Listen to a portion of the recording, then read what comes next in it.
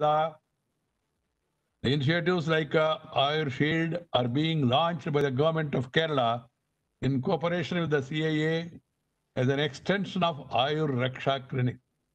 Very good idea. Ayurveda can provide answers to recurrent epidemics hitting India and the world. There is a need to further explore the properties of Ayurvedic medicines through well documented scientific evidence and take the many benefits of Ayurveda to people across India and the world.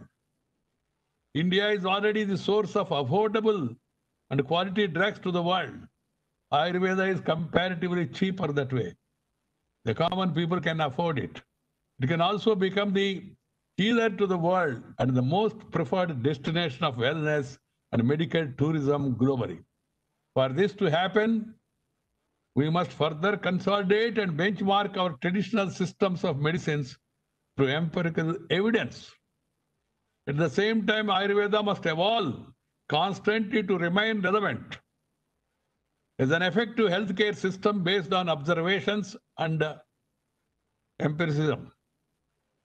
I urge the private companies and the government to come together, set up state-of-the-art R&D facilities to develop and test new medicines.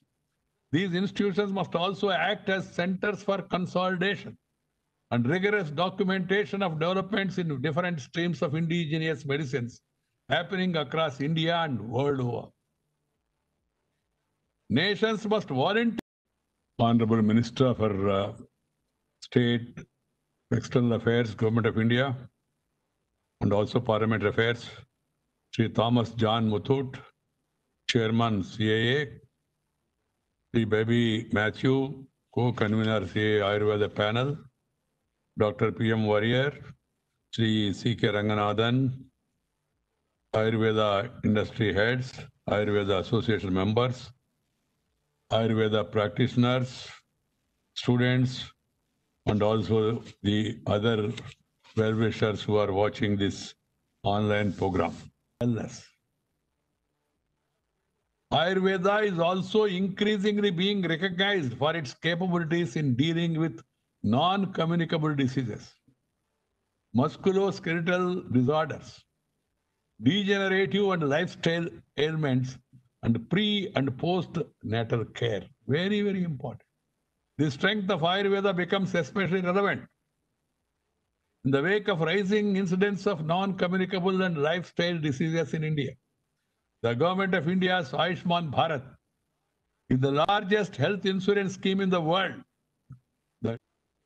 I'm very happy to declare the fourth edition of the Global Ayurveda Summit open.